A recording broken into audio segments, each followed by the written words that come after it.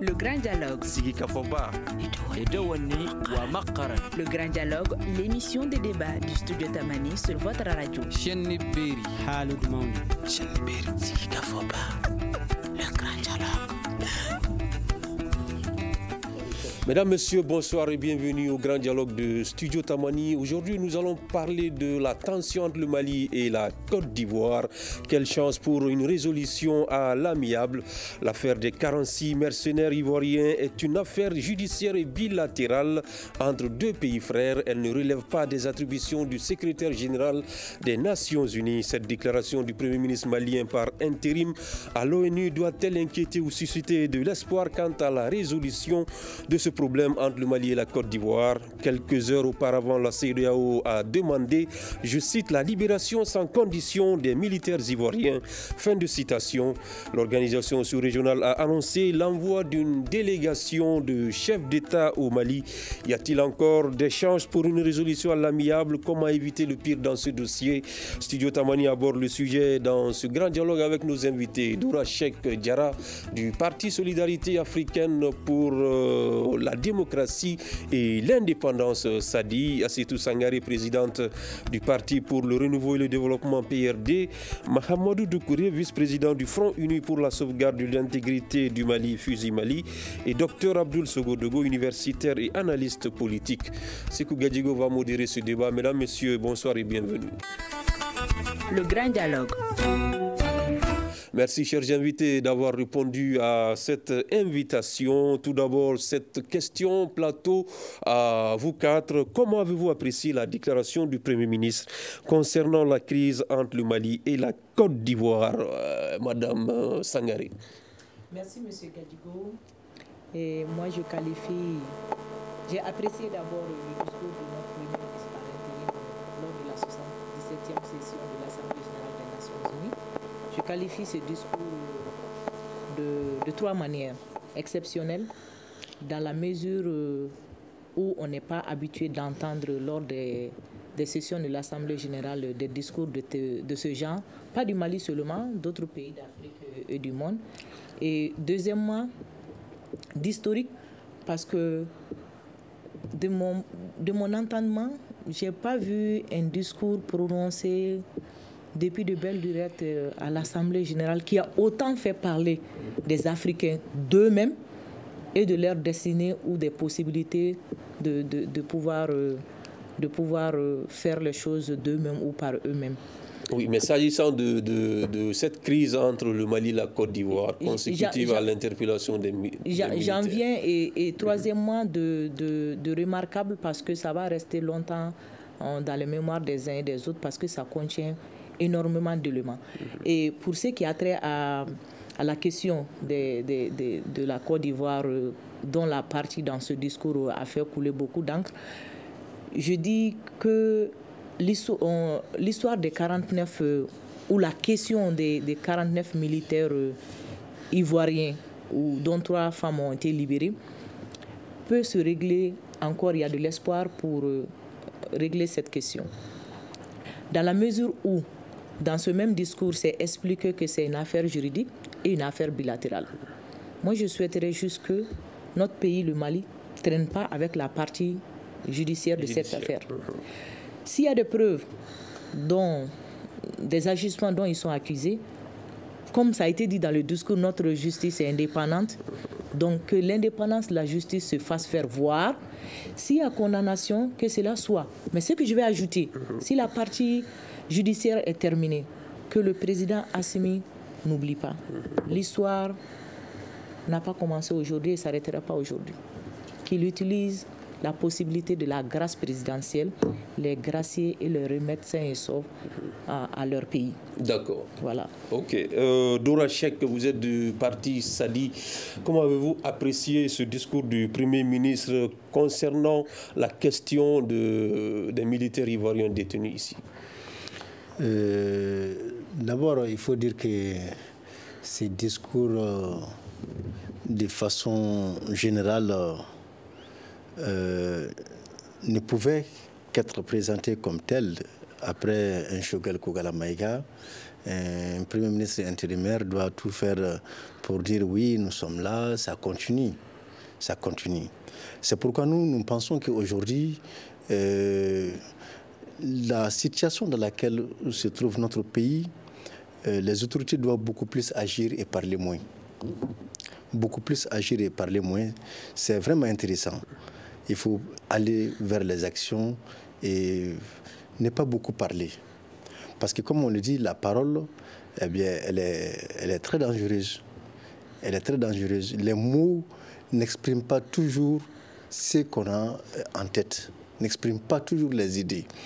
On peut parler avec euh, de très bonnes intentions, mais ça peut être interprété euh, d'une autre manière. Moi, par exemple, si j'étais le Premier ministre, je n'allais pas perdre mon temps, le Premier ministre, je n'allais pas perdre mon temps euh, pour parler de, du président du Niger je ne vais pas perdre mon temps là-dessus. Parce que je me demande en quoi cela va me faire avancer eh bien, dans le combat euh, contre euh, tous ces problèmes-là dans, euh, dans, lesquels le pays se trouve plongé. Mais vous pensez qu'il était nécessaire qu'il réponde à ceux qui se sont exprimés sur la question des, des militaires ivoiriens détenus? Moi, je pense que oui, bien sûr. Mais ce qui est aussi vrai, ça, il faut le dire, c'est une erreur. Ça, je crois que nous devrons avoir l'honnêteté intellectuelle de le dire. C'est une erreur de dire que ce n'est pas une affaire de l'ONU. C'est une erreur. Parce que le Mali est un pays membre de l'ONU. Et le Mali a signé eh bien, des conventions, des chartes. Le Mali est soumis à une réglementation. Donc, on ne peut pas dire que ce n'est pas une affaire de l'ONU. Et surtout que dans l'affaire, les gens parlent eh bien, et donc euh, euh, d'un contrat avec, euh, je ne sais pas, par rapport à une mission de l'ONU ici, donc de, de l'ONU aussi. Donc, on ne peut pas dire que ce n'est pas une affaire de l'ONU. Ça, c'est compliqué. Maintenant, quand il dit que c'est entre deux pays frères, bon, moi quand même j'ai eu comme l'impression que le Premier ministre veut aller plutôt vers, comme on le dit, un bon arrangement qu'un bon procès. S'il va vers un bon arrangement, c'est une très bonne chose parce que nous avons beaucoup de problèmes à régler. Nous n'avons pas besoin eh, eh, d'en faire plus. Nous allons, nous allons développer tout de suite, nous allons aborder cette question de, des liens qui existent entre le Mali et la Côte d'Ivoire. Euh, monsieur Mamadou Doukouré, Comment vous, vous avez trouvé ce, discours, surtout l'aspect sur la question des, des militaires détenus ici? Bon, Fusil salue et encourage, soutient euh, le ton du discours. Euh, nous avons compris que chaque mot avait son pesant d'or.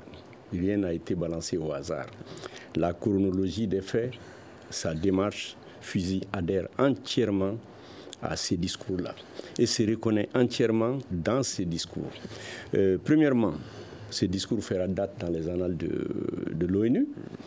Ce discours sera historique. Ça nous a rappelé euh, les années 63-64 sous Modibo, lorsque Ousmane Ba, ministre des Affaires étrangères du Mali, passait devant l'ONU. C'était les mêmes personnes qu'on retrouvait. Donc, nous avons senti en lui la dignité du Malien, la dignité retrouvée et et avec lui, on sait que le Mali sera désormais respecté. On ne peut pas avoir de telles peines, de telles douleurs avec nos partenaires, de telles trahisons, de telles piqûres, et puis aller caresser les gens dans le sens de leur poil. Ce n'est pas possible. D'accord. Mais, mais, quand, quand, le Premier ministre dit que l'affaire des 46 mercenaires ivoiriens est une affaire judiciaire bilatérale entre deux pays frères, est-ce que ça vous suscite de l'espoir ou bien ça vous inquiète? Bon, euh, pour nous, Fusil, euh, on dit souvent en Bambara que Amadi Jota, Kumbo. De la Côte d'Ivoire à nous, les relations sont séculaires. De la Côte d'Ivoire à nous, euh, il ne faut pas que de par cette affaire, on casse les poutres qui ont toujours soutenu le vivre ensemble entre Ivoiriens et Maliens. On trouvera la solution. Mais euh, nous pensons que la solution n'est même pas loin. Il y a eu des égaux des égaux qui se sont confrontés, c'est ce qui nous a amené là. Sans quoi, dès le départ, il y a des démarches à faire. Les démarches qu'ils ont eu à faire, si on les avait effectuées dès les premiers jours de l'affaire, je prends par exemple un exemple. Un président ado qui prend son avion et tombe à Bamako, il dit à son jeune frère, je suis venu chercher mes gars.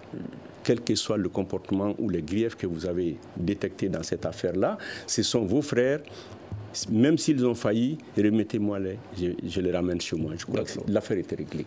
Mais il y a eu tellement de versions il y a eu tellement de oui, de non, de non-dits qu'ils ont compliqué une situation qui aurait dû avoir son dénouement la première semaine de la situation. Comme il a, il a dit, moi je préfère un mauvais arrangement à un bon procès. D'accord. Euh, docteur Sugodougou, en tant qu'analyste politique, mhm. quand vous écoutez cette euh, déclaration du Premier ministre hein, qui dit que l'ONU n'a rien à voir dans cette affaire, c'est une affaire bilatérale et judiciaire, est-ce que vous, ça vous inquiète ou bien vous pensez que ça doit euh, susciter de l'espoir?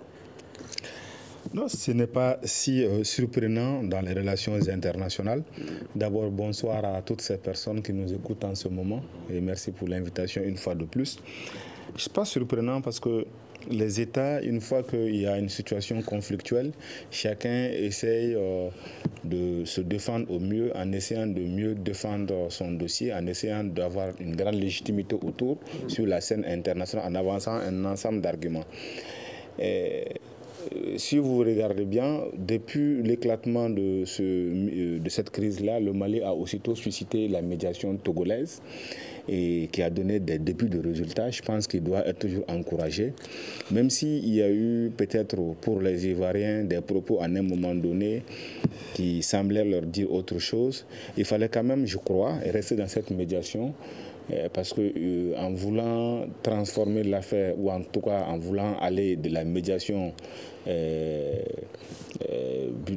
entre le Mali et la Côte d'Ivoire vers une médiation multilatérale, c'est comme si on, revenait à la cage de départ. Donc l'implication de l'ONU aujourd'hui ou encore de la CDAO comme médiateur risque de, de faire traîner ce dossier plus qu'il euh, ne le devrait. Pourquoi, Pourquoi la multilatéralisation de ce dossier Justement, la multilatéralisation, euh, j'ai l'impression que euh, cette médiation a été quelque part instrumentalisée parce que quand on fait confiance à un médiateur, on lui fait confiance et on s'inscrit de bonne foi dans cette logique pour qu'il y ait un dénouement n'est-ce pas, avec l'aide de ce facilitateur. Mais dès que vous sentez une fenêtre d'opportunité qui vous permet de, sortir de cette médiation parce que vous sentez que vous avez un argument aujourd'hui qui vous rend plus légitime, c'est-à-dire qui vous fait place en position de victime vis-à-vis de la communauté internationale et vous engagez une autre voie de règlement de, ce même différent, vous n'aidez pas, euh, vraiment, vous ne faites pas honneur au médiateur à la base. Moi, je considère que c'est une sorte d'humiliation quelque part même euh, vis-à-vis de la diplomatie togolaise. D'accord. Euh, Madame Sangari, on avait l'impression qu'on euh, est en train de, de voir le bout du tunnel hein, dans cette crise. Hein, le 3 septembre dernier, quand trois soldats ont été libérés, alors avec cette déclaration de, des autorités ivoiriennes qui parlaient de manquement, d'incompréhension qu'ils ont déploré, aujourd'hui on voit que la tension devient de plus en plus, en tout cas perceptible, avec euh, euh, euh, ces déclarations de part et d'autre. Comment vous comprenez ça? Qu'est-ce qui est à l'origine de ça? Il vient de le dire avant même que vous posiez la question. Hmm. C'est clair. Ils ont vu l'opportunité de se placer. Quelle est cette opportunité? Cette opportunité, c'est que ils ont vu que, avec la médiation togolaise, les choses n'iront pas à leur rythme, comme ils le souhaitent. Le Mali, c'est un pays d'humanisme et vous savez que je n'ai même pas été surprise. Euh, dans une de mes interventions passées, j'ai dit, mais enlevez au moins les femmes dedans. Et, à ma grande surprise, ça a été fait, quoi. Et voilà. Donc, euh, le Mali est ce genre de pays-là. Ils auraient dû rester derrière cette première médiation togolaise. Parce que quand vous avez écouté l'envoyé de la présidence de la Côte d'Ivoire dans ses propos, on était extrêmement satisfait que cette affaire s'arrêtera là, ça ira pas au niveau de la justice. Mais subitement, on entend des responsables de la Côte d'Ivoire dire qu'ils vont saisir CDAO, ils vont saisir l'ONU pour cette affaire qui avait déjà connu un dénouement heureux. On s'est posé des questions. Quelle autre information ou une étape nous a manqué pour qu'il se rebiffe et, va au-delà de, de, la meilleure manière de résoudre cette affaire-là? Il faut, il faut reconnaître que, il faut, il faut dire que ils ont voulu profiter de la 77e session parce qu'il y aura d'autres sujets sur le Mali pour mettre la pression. Moi, je pense que c'est ça qui est la vraie raison. Pensant que peut-être le Mali arrivera moins armé, il y a trop de sujets concernant le Mali, ils sont mieux vus là-bas que le Mali. Je ne suis pas au, secret de Dieu, mais c'était une mauvaise sortie ou c'était une mauvaise opportunité à saisir. Il fallait rester derrière la médiation togolaise parce que le Mali, à son temps aussi, avait demandé des choses au Togo. Et je pense qu'en contrepartie, de plus en plus, le Mali allait céder à la médiation togolaise que cette façon de faire. Mais il y a, une chose que j'aimerais dire, vraiment que nos auditeurs comprennent et que l'ensemble de, des personnes présentes ici sur le plateau comprennent, c'est que ce n'est pas parce que le, le Mali fait partie de l'ONU que ça fait de ce dossier un dossier de l'ONU. Il faut, il faut que cela soit clair. Le Mali peut faire partie de l'ONU et cette affaire est strictement bilatérale entre le Mali et la Côte d'Ivoire. Pour la simple raison que, avant que le Mali ne, ne, ne, ne fasse cette sortie, le Mali a demandé à l'ONU de clarifier si à ce moment l'ONU s'était dit oui, ce sont nos gars ou ce sont des gens qui sont sous nos responsabilités, mais, mais, mais, mais de façon contractuelle avec X ou Y, je pense que Mali n'allait pas faire cette posture-là. Mais le Mali a d'abord demandé à l'ONU. Le Mali, il est important de le rappeler, le Mali a demandé à la Côte d'Ivoire même. Donc le Mali a demandé à l'ONU, l'ONU a répondu avec une note verbale sans ambiguïté, qui n'ont rien à voir avec ces gens-là. Donc c'est surprenant en tant qu'homme politique, femme politique ou intellectuel que l'ONU se permet, après avoir dit qu'on n'a rien à voir avec une note officielle, d'aller en parler ou, se permettre de donner un jugement. Donc moi, je suis convaincu, je vais finir avec ça, que mhm. le Mali a intérêt, la Côte d'Ivoire, tous ces, nos deux pays-là ont intérêt de traiter cette affaire de façon bilatérale. Mhm. et, une fois de plus, pour que nos autorités je vais dire, perdre la face parce qu'ils ne vont pas aussi libérer et dire que ah, nous, nous, sommes euh, euh, indépendantes et, notre justice, on ne s'implique pas dans, dans, les affaires judiciaires et, et libérer. C'est pourquoi faites un jugement, je le répète, parce que c'est la seule chose que je vais dire à ce dossier, parce que je ne vois pas autre façon. D'accord. Donc il faut faire ce jugement, les juger en fonction de leur infraction au crime, et ensuite utiliser la voie diplomatique, la grâce présidentielle est, utilisable. D'accord. Voilà. Euh, pensez-vous la même chose que cette affaire reste bilatérale comme les autorités l'ont dit et qu'on ne devait pas impliquer d'autres organisations dedans?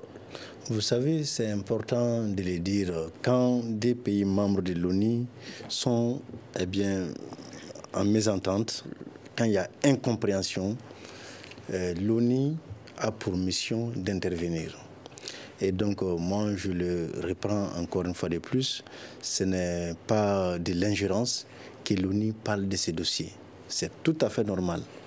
Maintenant, euh, pourquoi nous sommes arrivés jusqu'à ce niveau? Ça, c'est vraiment important. Là, ça permet eh bien, de faire une analyse. Moi, je dirais que euh, depuis les premières heures de l'arrestation de ces gens-là, il y a eu malheureusement une campagne médiatique autour du dossier. Parce que... De la part de qui De la part eh bien, du Mali. Il y a eu une campagne médiatique on se rappelle euh, un petit quiproquo euh, qui est intervenu entre la police et les militaires, parce que les policiers, à un moment, pour dire que c'était comme une trophée, quoi, pour dire c'est nous qui avons fait le travail, eh bien, a pu eh, parler et a été interpellé. Et donc, il y a eu une campagne médiatique autour du dossier. Pourtant, le dossier était tellement sensible que ça ne nécessitait pas, ça ne nécessitait pas cette campagne médiatique. Et donc la campagne médiatique a fait que eh bien, le dossier a pris une ampleur. Et donc aujourd'hui, eh, le Mali a certainement, ça c'est une analyse, a certainement posé des conditions. Et ces conditions-là, eh peut-être ne conviennent pas à la Côte d'Ivoire. Et la Côte d'Ivoire eh bien, peut aussi eh jouer sur d'autres tableaux. Et donc, je pense qu'un pays membre peut poser eh bien, effectivement sur la table de l'ONU des problèmes comme tels. Et donc, c'est aux autres de voir selon les règlements en vigueur et de trancher. Moi, je dirais tout simplement que si nous voulons avoir, le, le Premier ministre par intérim a dit que c'est une affaire entre deux pays frères. Et donc ils agissent en tant que deux pays frères. Effectivement, euh, euh, il a été dit ici qu'Alassane pouvait prendre son avion pour intervenir à Bamako et demander à son jeune frère, à son voilà, cadet, bon, je viens chercher mes gars. Tout comme les cadets pouvaient aussi prendre son téléphone, pas pour aller, comme le déplacement n'est pas toujours facile pour certaines personnes, prendre son téléphone pour dire Ah, euh, euh, mon corps, euh, l'aîné, il y a des gens qui sont là, c'est des Ivoiriens. voilà, bon, bon, voilà. Moi, ils ne sont pas dans une situation régulière, ils sont là, mais voilà, qu'est-ce qu'on peut faire? Ils pouvaient faire ça. Moi, je pense qu'aujourd'hui, si nous ne gérons pas ces problèmes-là. Moi, je ne dirais même pas euh, de manière comme ma sœur sur le, plan droit, machin. Pour moi, les problèmes peuvent être réglés pas forcément sur le plan droit. Mais le problème, si c'est mal réglé, ça va être très très difficile pour les deux pays. Parce que quand les pays négocient, si moi j'ai intérêt à vendre, l'autre aussi a intérêt d'acheter. Et si jamais eh bien, cette situation malheureuse arrive à froisser toutes ces relations qui existent entre ces, pays, ces deux pays-là, je pense que ça va être beaucoup plus malheureux pour nous deux, mais surtout beaucoup plus malheureux pour le Mali, qui est déjà dans des problèmes et qui n'a pas besoin eh bien, de faire face à d'autres problèmes. Des de conséquences hein, euh, euh, possibles sur, euh, quand, en cas de, de non-résolution de, cette crise. mais en attendant, M. Mamadou Doukouré, nous voyons que la Côte d'Ivoire a saisi mm. la CEDAO et qui s'implique, qui a annoncé l'arrivée d'une délégation de, chefs d'État. Pensez-vous que c'est ça pourrait être une solution à ce, à ce, problème ou bien ça risque de, compliquer les choses? Bon, à mon avis, mm-hmm c'est le début d'une solution.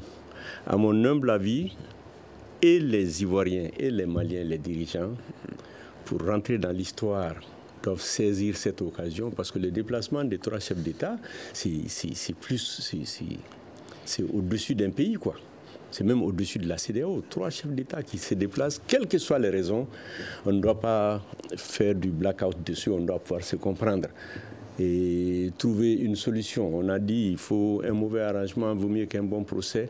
Tout le monde est unanime que les preuves fournies par le Mali jusque-là ont été irréfutables au niveau de l'ONU, au niveau des Ivoiriens, ils n'ont en aucun moment pu donner des raisons pour lesquelles ces gens-là, justifier la présence de ces gens-là sur notre sol. Oui, mais le secrétaire général a dit, euh, euh, a déclaré euh, l'autre jour que s'il n'était pas des, mercenaires, non, il a parlé même si c'est vrai que dans un premier temps, ils ont dit qu'ils ne connaissaient pas ces ces éléments. Oui, mais il ne faut, faut, pas être secrétaire général de l'ONU pour mm. savoir que quand un lieutenant se déplace, il a un ordre de mission. Mm. C'est écrit lieutenant Gadigo dessus, mm. mais on ne mettra pas blanchisseur Gadigo et puis euh, réparateur des motos. Ça, c'est des, à, à, des dessins qui ne disent pas leur nom.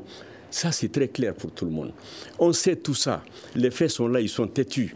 Ils sont irréfutables. Mais le Mali est au-dessus. Si nos autorités, ceux de la Côte d'Ivoire, tout le monde veut rentrer dans l'histoire, parce que ceux qui, nos prédécesseurs ont, sauvegardé ces histoires-là. Si vous ne savez pas, lorsqu'il y a eu l'éclatement de la Fédération du Mali et que le Sénégal a fermé ses frontières, eh, Modibo a envoyé Amadou Ampateba, qui était l'ami de Oufouet Boigny, afin de nous ouvrir le port d'Abidjan. On n'est pas prêt à oublier ça. Et même demain, nous aurons besoin de ce port parce que naturellement, on a été situé comme ça. Les colonies maliennes qui sont en, en Côte d'Ivoire, ils sont des millions. Leur bonheur, c'est notre bonheur.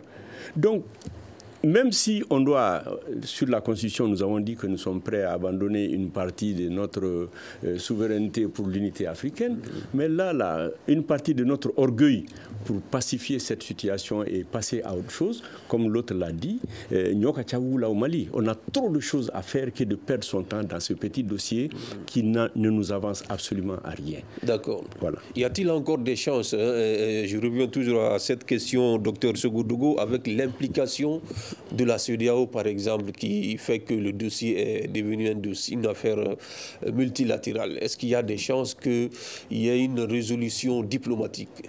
Effectivement, il y a de grandes chances qu'il y ait une résolution diplomatique parce que euh, euh, même si la Côte d'Ivoire a inversé un peu, euh, en se retirant de la médiation togolaise. Euh, la voie qu'elle préconise, c'est une autre médiation encore. Ça veut dire qu'elle s'inscrit aussi dans la voie diplomatique pour résoudre cette affaire-là. Donc les deux acteurs sont à encourir dans ce sens. Je veux dire là, le, gouvernement malien et le gouvernement ivoirien, de poursuivre cette voie. Mais franchement, euh, je n'aurais pas souhaité qu'on aille vers cette médiation multilatérale parce que je crois que même s'il y a des compréhensions diverses du sujet à un moment donné, il serait préférable que le Mali et la Côte d'Ivoire retournent dans la médiation togolaise euh, parce que le Togo, c'est quand même un pays frère, un pays ami au Mali et à, à la Côte d'Ivoire vous ne pouvez pas euh, lui mettre dans une telle mission et, et du jour au lendemain faire comme si euh, voilà, le Togo était malpropre, qu'il n'était plus bon à, écou- à écouter. Est-ce qu'il y a une crise de confiance entre les autorités maliennes et la CEDEAO Et évidemment, même si ce n'est pas une véritable crise, je pense que la CDAO a, rentré, a raté son introduction dans ce dossier dès qu'il y a eu des propos un peu, euh, euh, et en tout cas inquiét- inquiétants euh, entre le Mali et la Côte d'Ivoire dans ce dossier. Je crois que les chefs d'État auraient pu rapidement organiser un sommet et dire qu'il y a un- un- une situation de crise entre le Mali et la Côte d'Ivoire et se saisir rapidement de ce dossier. Pourquoi même pas désigner rapidement un médiateur qui allait aider ces deux pays à dépasser cette situation? Mais ça n'a pas été le cas. Il a fallu que euh, le Mali lui-même euh, sollicite la médiation togolaise et que la Côte d'Ivoire accepte parce que les deux pays sont à saluer. Parce que ce sont ces deux gouvernements qui ont accepté de prendre le Togo comme médiateur pour les permettre de dépasser ce problème-là. Et je reconnais encore que cette médiation togolaise me semble être la meilleure voie. C'est dans cette voie que ni le Mali ni la Côte d'Ivoire ne va perdre l'honneur. Parce que c'est important. Quand on représente un pays, on doit tout faire pour que son pays ne se sente pas humilié ou qu'il ne perde pas son honneur dans la gestion d'une affaire interne. euh, in- in- internationale. Et donc, euh, vous savez, si dans la gestion d'une crise, une partie se considère comme lésée ou humiliée, c'est qu'il faut s'attendre à des revanches dans l'histoire, dans l'avenir. Alors, euh, Madame Sangari, cette délégation qui est annoncée, est-ce qu'on peut la considérer comme la, la mission de la dernière chance ou bien il, on- il faut toujours espérer sur le plan euh, diplomatique Ben, on- Monsieur Gadiou, on va espérer. On va espérer parce que c'est toujours bon d'être opportuniste. On, je dis Optimiste. op- voilà.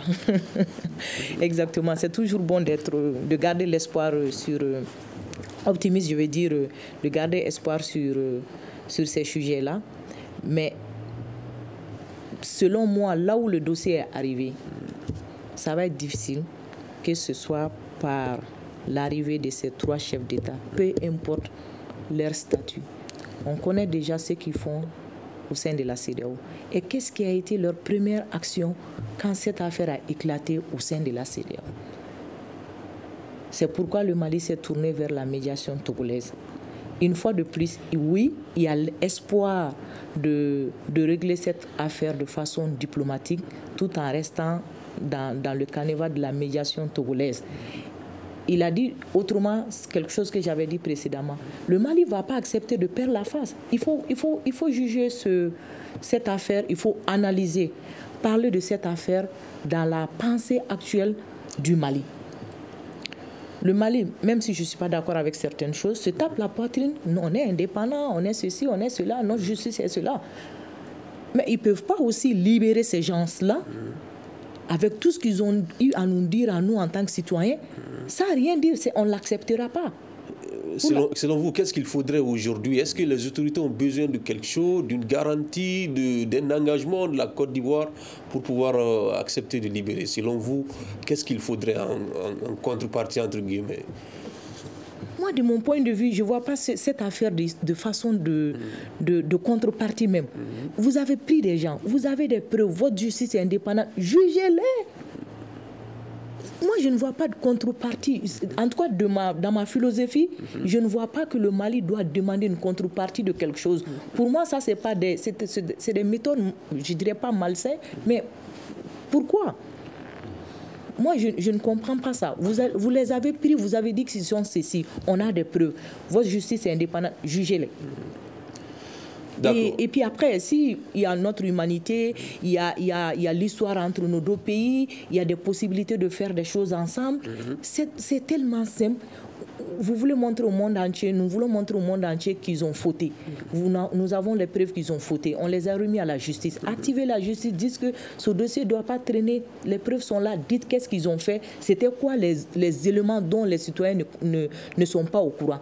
Jugez-les et en ce moment, la diplomatie et, et, cette solution diplomatique ou bilatérale dans la médiation togolaise, vous les remettez en bonne forme et du format à la médiation togolaise par la grâce présidentielle. Personne ne se plaindra de ça. Le Mali a appliqué sa justice. Le Mali a montré que sa souveraineté est là. Le Mali a montré que sa justice est indépendante. Le Mali aussi, dans sa constitution, le président a le droit de gracier quelqu'un, même s'il a tué quelqu'un. D'accord. Et on tourne cette page, on se concentre à l'essentiel. Cela est bien compris. Doura Cheikh euh, Diara, est-ce que vous aussi, vous êtes un peu euh, sceptique par rapport à, aux chances de réussite de, de cette mission qui est annoncée? Bon, ça dépend de la sagesse. Euh, ça dépend de la sagesse de ceux qui ont aujourd'hui la lourde responsabilité de gérer les pays. On ne gère pas un pays par des sentiments, par le cœur. Le cœur est très important, mais le cœur doit être toujours guidé par la raison. Donc on doit plutôt voir les intérêts, parce qu'il n'est pas donné à tout le monde eh bien, d'apprécier les situations qui se présentent, surtout quand il s'agit des affaires aussi complexes comme celles des États c'est très difficile pour des citoyens à un certain niveau d'apprécier et de savoir quelle est la juste décision. Et donc quand on est responsable dans un pays comme le Mali, dans la situation actuelle, on doit comprendre cela et faire ce qui est juste. Moi, je pense qu'aujourd'hui, si la Côte d'Ivoire a décidé, parce qu'on ne sait pas pourquoi, Madame a posé aujourd'hui tout de suite là une très bonne question. Elle dit qu'elle ne comprend pas pourquoi on ne juge pas et peut-être gracier après si on veut rester toujours des bons amis, des bons voisins. Mais la question c'est quoi? La, la, la, question c'est quoi? C'est qu'aujourd'hui, pourquoi des gens qui ont fauté, qui ont été pris la main dans, la, main dans les sacs, dans les sacs parce que c'était aussi évident que ça. Pourquoi demander un médiateur pour aller négocier quoi?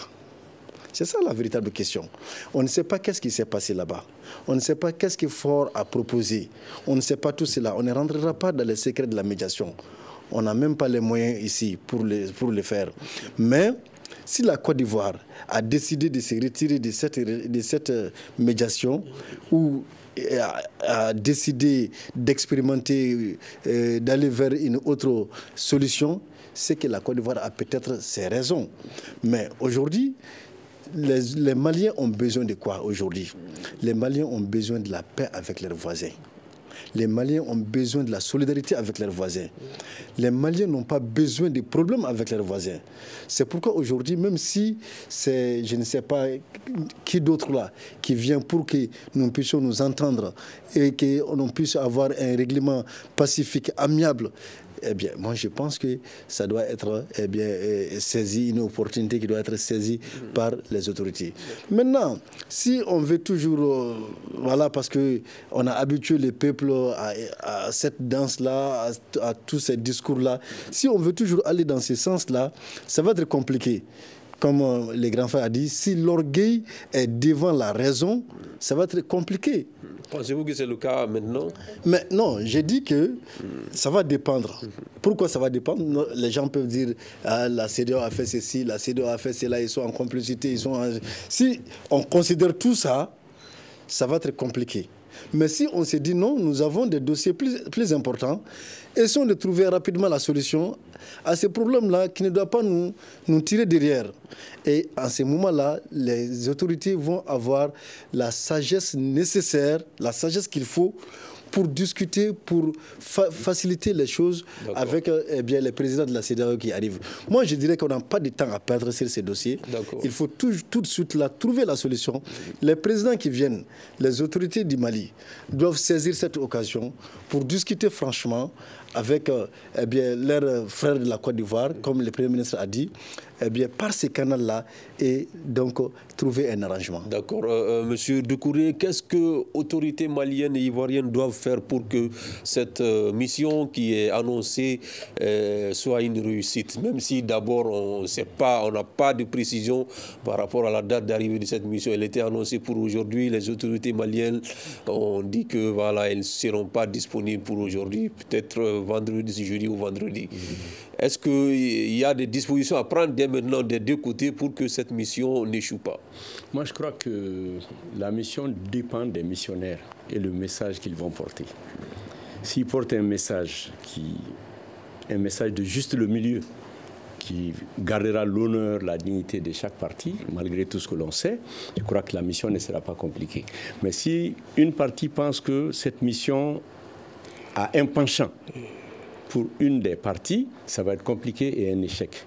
Donc, tout ce qu'on peut dire, on ne sait pas ce qu'ils ont dans, leur sac pour venir proposer aux Maliens comme, euh, comme palliatif ou comme soulagement pour que le Mali puisse dire à son peuple, les dirigeants puissent dire à leur peuple, euh, pour telle telle raison, et ce que nous savons d'historique, il n'y a pas de raison. Ce qui nous, le point d'achoppement d'aujourd'hui est moins, est tout petit par rapport à ce qui nous lie depuis des siècles et ce qui nous attend.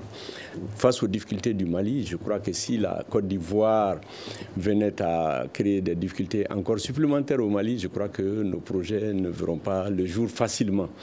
Donc nous souhaitons un apaisement, mais ça dépendra du message porté par la mission qui doit être la mission de négociation. Alors, euh, docteur Sougoudou, est-ce que cette mission a, des chances de, de, réussite quand on sait déjà que les autorités maliennes n'ont pas apprécié le fait que la CEDEAO, par exemple, demande la libération sans condition de ces, de ces militaires ivoiriens? Euh, Est-ce qu'aujourd'hui, on ne se dit pas que c'est perdu d'avance? Bon, vous savez qu'en matière de politique internationale, rien n'est perdu d'avance parce que c'est ce qui est en jeu sur la scène internationale, ce sont les besoins et les intérêts des différents acteurs. Et ces besoins et ces intérêts ne sont pas statiques, sont dynamiques. Donc ça évolue avec le temps, avec euh, le, monde, c'est un espace qui est en ébullition, quoi. Donc on comprend ça. Je dis d'habitude à mes étudiants dans les cours de négociation et médiation internationale que le succès d'une médiation ou son insuccès dépend principalement de trois facteurs qui me semblent les plus importants. Un de ces éléments, c'est la qualité même du médiateur. Si le médiateur est considéré comme étant partial ou impartial, ou si le médiateur a suffisamment de moyens pour mettre la pression ou en tout cas créer des conditions de facilitation, à inciter les parties à venir à la médiation, ça joue. Il y a aussi la nature du conflit. La nature du conflit peut être parfois un élément qui rend la gestion de ce conflit difficile. Et dans le cas malien, il ne faut pas négliger la nature de ce conflit ici. Ce qui est en jeu, c'est une question de sécurité euh, Est-ce que le Mali prend la présence de ces personnes-là que, bon, je ne sais pas, euh, il y a ce débat sur mercenaires, militaires. En tout cas, ces personnes, peu importe vous êtes dans de quel type de qualification, leur présence est considérée comme étant une menace à la sécurité par les autorités actuelles. Donc ça, ne facilite pas. Et ensuite, le timing même de la médiation. La médiation intervient à quel moment? C'est-à-dire, le moment, là je fais allusion à des éléments qui favorisent la gestion du conflit. Tant qu'une des parties pense pouvoir eh, prendre le dessus par lui-même en imposant sa voix dans la gestion du conflit, il ne va pas vouloir coopérer de façon objective.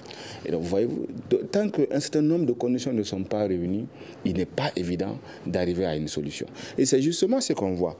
Et si le Mali dit qu'il n'est pas prêt à recevoir cette délégation le mardi, tel que la CDAO l'avait souhaité, euh, quels moyens la CDAO dispose aujourd'hui pour contraindre le Mali à prendre, à accepter de recevoir ces chefs d'État-là?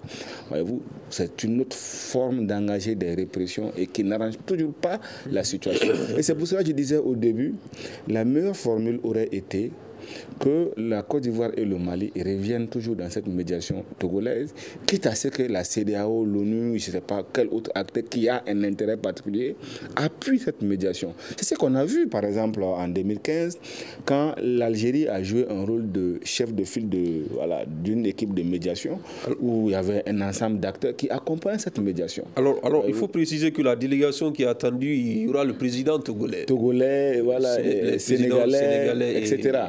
Oui, mais, mais à la condition de qui? Sur la demande de qui? À quelles conditions C'est ça. Parce qu'une médiation doit être acceptée par les parties. D'accord. Tant qu'elle n'est pas acceptée par les parties, le médiateur n'a pas la légitimité et les moyens nécessaires d'exercer une influence quelconque. D'accord. Maintenant, une question à, à vous, à vous quatre. hein. Si toutefois cette médiation, euh, cette délégation qui est annoncée n'arrivait pas à trouver une solution à, à l'amiable, à quoi faut-il s'attendre, docteur Segoudou Je pense que euh, euh, euh, elle ne va pas forcément trouver sa vata pas peut-être au premier essai, mais je pense que le Mali et la Côte d'Ivoire, je l'ai tantôt dit, tous les deux sont inscrits dans une gestion pacifique, diplomatique de ce conflit. Donc je garde espoir que cette médiation, en tout cas qu'elle soit togolaise ou encore multilatérale, ça va finir par aboutir euh, à un résultat euh, positif. Ça, je, je reste convaincu de cela.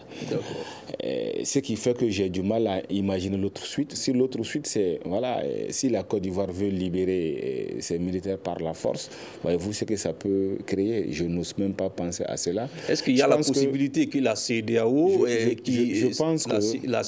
Prenne des, des- des sanctions. sanctions. Est-ce que ces textes prévoient de telles choses? Non, euh, toujours quand il y a, même pas la CEDEAO seulement, si euh, l'ONU considère qu'il y a une menace à la paix internationale, en, en vertu du chapitre 7, n'est-ce pas, pour éviter un fu- futur conflit ouvert entre le Mali et la Côte d'Ivoire, ça personne ne le souhaite d'ailleurs. Et je pense que nos autorités sont assez sages, maliennes comme ivoiriennes, pour ne pas en arriver à ce niveau. Mais ce qui peut se passer, en fait, le fait que le Mali ait arrêté ces personnes-là, euh, pour ne pas tomber dans une violation des droits humains, donc autrement dit une détention arbitraire, le Mali est obligé de judiciariser cette affaire-là. Et je pense que c'est ce qui va se faire. Il faut que la procédure judiciaire aille rapidement au bout. D'accord. Nous allons donner la parole à Mme Sangari pour qu'elle nous dise qu'est-ce qu'elle pense qu'il faut faire pour que cette mission n'échoue pas, mais aussi en cas d'échec, à quoi peut-on s'attendre? Espérons qu'il n'y aura pas d'échec euh, à cette mission, même si elle n'aboutisse pas sur la question des militaires, que ça sert au moins à apaiser davantage euh, nos rapports avec euh, les voisins, qui ne sont pas d'exemple de reproche non plus. hein. Au- Autant, autant le Mali le Mali doit faire euh, la paix avec ses, ses voisins ou éviter que certaines situations soient aggravées, autant cette euh, même remarque est valable pour les voisins du Mali qui se sont donné certaines libertés quand ils parlent des sujets du Mali. Donc, euh, On peut s'attendre à quoi en cas d'échec? en cas d'échec, on peut s'attendre euh, à ce que la CEDEAO soit encore plus fâchée contre le Mali, parce que la CEDEAO souhaite vraiment se saisir de, ce dossier-là, mais ils ont, ils ont raté le moment où ils devraient le faire. C'est eux qui devraient, euh, c'est la CEDEAO qui, qui devait prendre le leadership dès le début. Donc, on peut s'attendre à ce que d'autres voies, le Mali utilise d'autres voies pour, pour mettre en selle la médiation togolaise. Parce que moi aussi, je reste convaincu que c'est la médiation togolaise que le Mali souhaite. Je ne connais pas les raisons, honnêtement.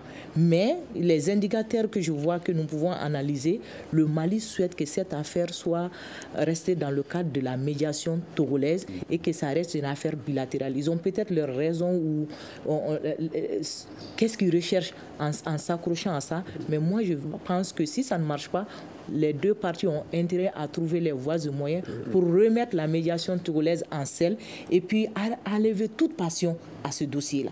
Enlever toute passion à ce dossier-là. D'accord. Que les Maliens identifient, c'est comme ça qu'on veut. Et puis la Côte d'Ivoire aussi veut comme ça qu'on veut.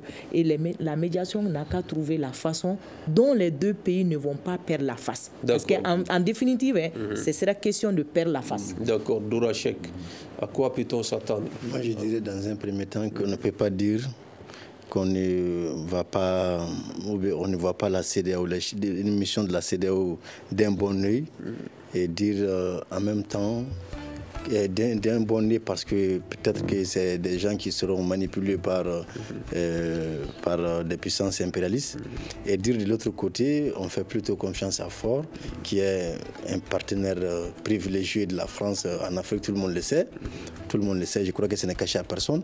Bon, donc, moi, je pense qu'aujourd'hui, si jamais ça ne marche pas, mais je crois fermement à 80% que ça va marcher. Si ça ne marche pas, eh bien, on peut. Moi, je, vois très mal aujourd'hui un conflit armé. Mais il faut s'attendre à des actions.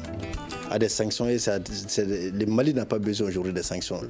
Des sanctions de l'ONU, mais des sanctions de certains pays comme l'Allemagne qui, depuis le début de la crise, a demandé la libération de ces gens-là, l'Allemagne. Aujourd'hui, on n'a pas besoin de ça aujourd'hui. C'est pourquoi je pense que les autorités vont avoir euh, la sagesse pour, faire, pour, pour, pour avoir la mesure de la situation et faire ce qui doit être fait. Saisir cette occasion pour finir avec ces dossiers-là, comme j'ai toujours dit, et passer à l'essentiel. D'accord. Monsieur Doucouré, le dernier mot à vous. Voilà, aucune, à quoi peut-on s'attendre? Aucune des parties n'a intérêt, ni la CDAO, ni la Côte d'Ivoire, ni le Mali, que la situation demeure comme telle. Donc nous croisons les doigts. Nous pensons que la délégation aura suffisamment de diplomatie, d'arguments pour que les deux parties puissent se mettre ensemble et qu'on finisse avec cette situation et passer aux actions de développement dont on a besoin aujourd'hui au Mali. D'accord. Et c'est sur ce que prend fin ce grand dialogue qui parlait ce soir de la tension Mali-Côte d'Ivoire. Quelle chance pour une résolution à l'amiable. Nous recevions sur ce plateau Madame Assetou Sangaré, présidente du Parti pour le renouveau et le développement PRD, Monsieur Mahamadou vice-président de Fusi Mali. Fusi Mali, c'est le Front uni pour la sauvegarde de l'intégrité du Mali. Dora Sheikh Diara, membre du Parti Sadi, Solidarité africaine pour l'indépendance, pour la démocratie et l'indépendance. Et Dr Abdul Sogodogo, analyste politique et universitaire. Euh, cette émission a été mise en nom par Adjaratou Traoré. À la régie vidéo, il Salim Diouara. Sekou Gadjigo vous l'a présenté. Merci à toutes et à tous et à demain pour un autre numéro. Le Grand Dialogue. Le Grand Dialogue, l'émission des débats du studio Tamani sur votre radio. Shenni Beri. Halud